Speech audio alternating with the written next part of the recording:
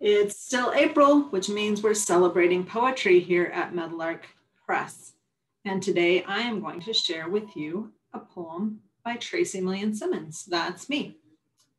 The first poem I am sharing is called Childhood's Home. Childhood, childhood's home. I slip beneath a handmade quilt into memories.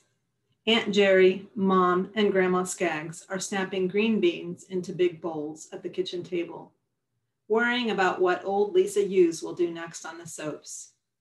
Cold days like today, it would have been more likely to find them stitching and chatting. Mom sewing clothes for a new doll, Jerry with crochet hook in hand, hot tea with sugar and lemon on the menu, and lots of laughter those three were always having fun. And the second poem I have to share with you today is called Ode to a Laundryman.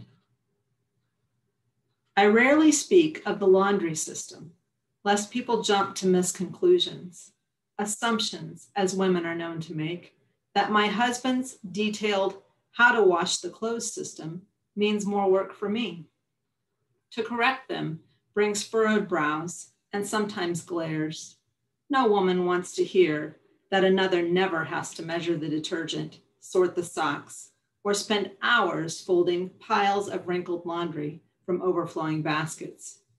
No woman wants to hear that it's another's husband who washes all the clothes, that she hasn't, in fact, washed a sheet in years. Thank you.